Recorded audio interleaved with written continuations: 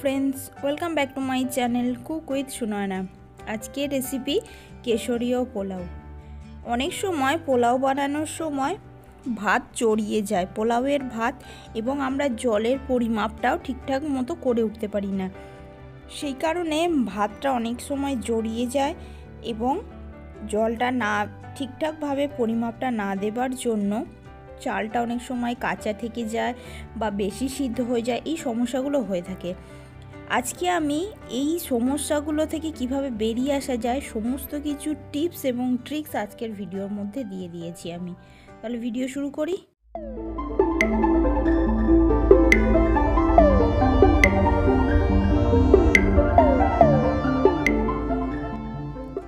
সব থেকে প্রথমে আমি গ্যাসের মধ্যে একটা কড়াই বসিয়ে নিয়েছি। আর প্রথমেই আমি দিয়ে দেব এক টেবিল স্পুন পরিমাণ ঘি। ঘিটাকে আমি প্রথমে একটুখানি ভালো করে গরম করে নেব, তারপরে আমি রান্না শুরু করব। ঘিটা মোটামুটি গরম হয়ে গেছে। এখানে আমি সাত থেকে আটটা কাজু বাদামকে আধখানা করে রেখেছি, ভেঙে রেখেছি।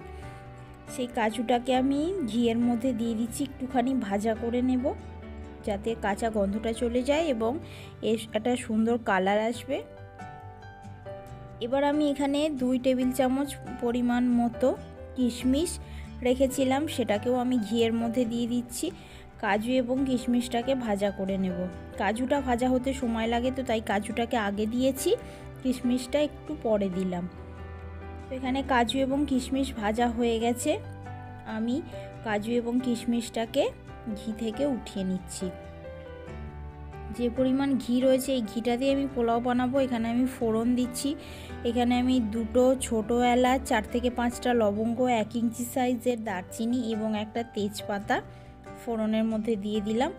ফোড়নটাকে প্রথমে আমি একটুখানি ভাজা করে নেব। ফোড়নে থেকে যখন সুন্দর গন্ধ বেরোতে আসবে, তখন আমি এখানে চাল দিয়ে দেবো। এখানে আমি হাফ কাপ পরিমাণ বাসমতি চাল রেখেছিলাম। এটাকে আমি এক ঘণ্টা ভালো করে জলে ধুয়ে নিয়েছিলাম, তারপর এক ঘণ্টা ভালো করে জলের মধ্যে ভিজিয়ে রেখেছিলাম।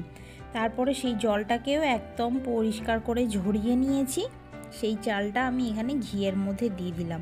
এবার চালটাকে আমি বেশ ভালো করে কিছুক্ষণ সময় ধরে ভাজবো। আমি এখানে চালটা লো হিটে প্রায় তিন থেকে চার মিনিট সময় ধরে এটাকে ভাজবো।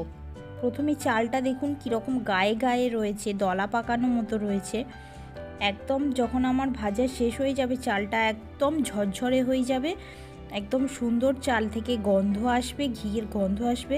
পোলাও বানানোর সময় এটা যদি করে নেওয়া হয়, এটা কিন্তু একটা খুব ভালো ট্রিক তো এখানে দেখুন চালটা কতটা ঝরঝরে হয়ে গেছে।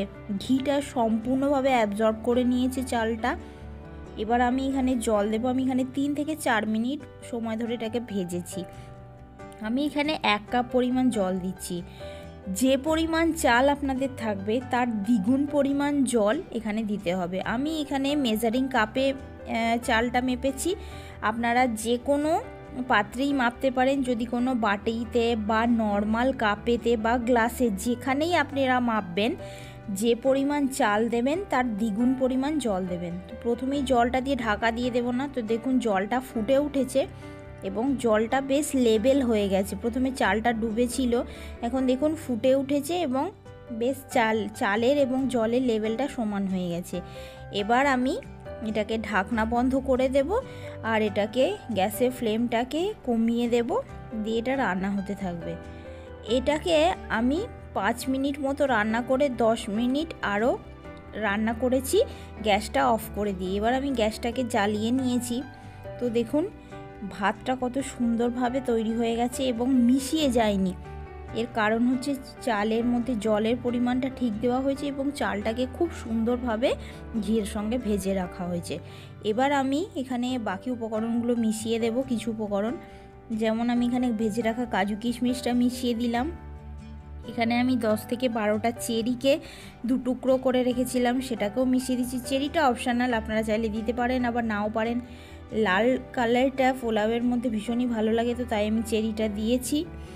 এখানে আমি দিয়ে দিচ্ছি দুই টেবিল চামচ পরিমাণ চিনি। পোলাওটা একটু মিষ্টি রকমের হয়ে থাকে, কিন্তু তাই আমি এখানে চিনিটা দিয়েছি, আর দিয়ে দিচ্ছি হাফ চা চামচ বা স্বাদ অনুযায়ী লবণ।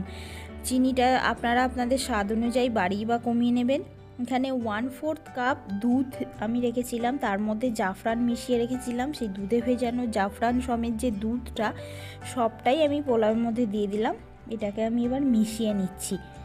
এখন কিন্তু গ্যাসের ফ্লেমটা অন করা, এতক্ষণ অফ করা ছিল, আমি এবার অন করে দিয়েছি। এটা সমস্ত কিছুকে মিশিয়ে দিচ্ছি। দিয়ে এটাকে ঢাকনা দিয়ে দেব। উপর থেকে আরও আমি এখানে এক টেবিল চামচ পরিমাণে ঘি দিয়ে দিচ্ছি। ওপর থেকে ঘিটা দিলে পোলাওটা জড়িয়ে যাবে না এবং আরও সুন্দর গন্ধ আসবে এবং ঝরঝরে হবে। তো আরও মিনিট পাঁচেক লো ফ্লেমে রাখার পরে গ্যাসটাকে বন্ধ করে দিয়েছিলাম। তারপরে আরও দশ মিনিট পর আমি এটাকে ঢাকনাটা খুলে দেখাচ্ছি। তো দেখুন, ভাতটা কত সুন্দর ঝরঝরে হয়েছে পোলাওটা।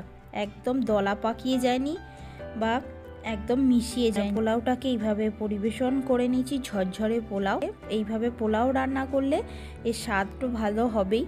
এটা এমনিও খাওয়া যাবে এর মধ্যে যেহেতু লবণ চিনি সবটাই রয়েছে এটা এমনি এমনিও খাওয়া যাবে অথবা এটার সঙ্গে অন্য অন্য কোনো কিছুর সঙ্গে খেতে পারেন। এটা পনিরের সঙ্গে কিংবা চিকেন মাটন যে কোনো ধরনের কারির সঙ্গে খেতে পারেন যে কোনো দিন খেতে পারেন। তো এইভাবে ঝটপট বানিয়ে পরিবেশন করুন কেশরীয় পোলাও। আজ এই পর্যন্তই নমস্কার।